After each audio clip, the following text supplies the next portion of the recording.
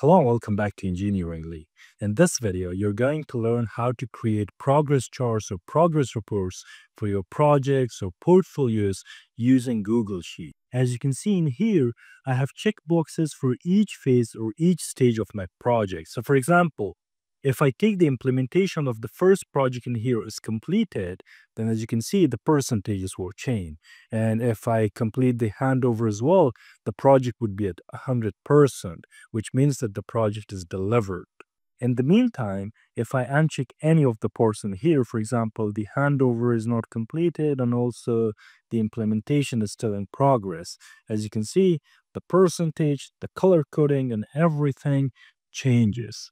So if you want to create dynamic and visually appealing dashboards and progress reports like this, make sure to stick till the end of this video. So in here, I have copied the exact project names from the previous sheet. So first of all, what I need to do is I'll insert checkboxes for all of the project stages in here. For that purpose, I have selected all of this, go to insert and from below here, I'll click the checkbox. So these checkboxes are in blue color. In case you wanted to change them to another color, for example, let's say this red color, you can just change the font color, it will be changed. So in the next step, we're going to write down a formula for the overall progress in here.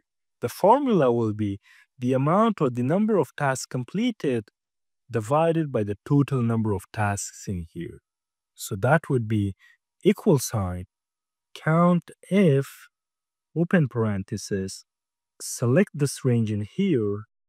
If the criteria in here is true, then we will divide this by the total number of tasks, whatever number of tasks are in here. True would mean that the checkbox is checked, and false would mean that it's not checked. So then I'll divide it by the total number of tasks. For that purpose, I'll write the count a function and then count all the cells in here. Press enter. And then what I need to do is to make sure that this is properly working. For example, let's select the feasibility study to be completed. As you can see, there are four stages and one stage is completed. It's a 25% completion. Also, if you make the implementation checked, it will show the exact same progress in here. Now I'll apply it to the rest of the cells check any of this and as you can see everything is updated.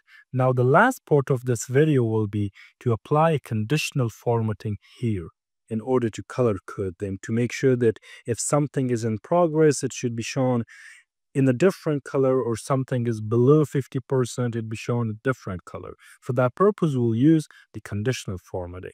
So I have selected this area go to format and then pick conditional formatting.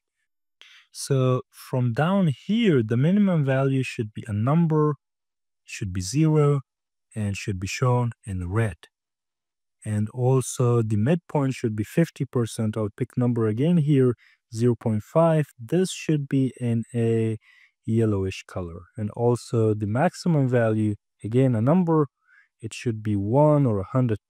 And for that one, we should have the green color. Then let's say done.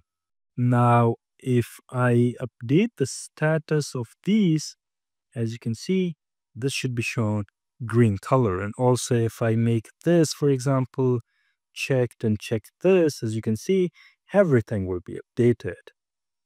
This brings us to the end of our video today. If you found the content of this very helpful, consider subscribing to this YouTube channel and also following us on Instagram and LinkedIn for more project management, civil engineering, and data analysis insights and tips. Thank you for watching and see you in the next video.